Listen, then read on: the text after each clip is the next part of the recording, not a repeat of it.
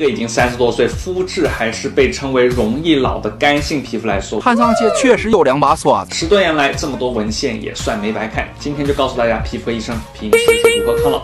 兴趣的话，别忘记点赞收藏。第一，清洁。作为干性皮肤，其实我日常清洁大多数就是用清水洗脸，在夜间偶尔用一下温和的氨基酸洁面。要知道，不少人皮肤屏障受损都是过度清洁去角质导致的，所以切记在脸上用什么磨砂膏，坚持温和清洁的原则。第二，经典护肤要先明确自己的护肤需求，然后再搭配。我现在需求呢就是抗老加保湿，一般呢我会用到这两个产品搭配。抗老了肯定先上 A 醇，这一瓶呢是科颜氏的 A 醇精华，还有百分之零点一的 A 醇加胜肽，能促进胶原淡化细纹。淡黄色的质地清爽，没有特别油腻的感觉，虽然浓度不算高，但是注意在眼周薄嫩的位置要注意耐受。孕妇和哺乳期是不建议使用的。用完 A 醇精华后呢，我会叠加一个资生堂的悦薇抗糖霜。其实糖化反应产生 AGEs 会引起皮肤松垮暗黄。由于我们亚洲人面部骨骼相对平缓，以及饮食偏好泯灭，所以更容易受到糖化的影响。它里边的阻糖苷能有效的通过三三步从源头抑制糖化反应，协同复合植萃 BP 八，延缓胶原的流失糖化，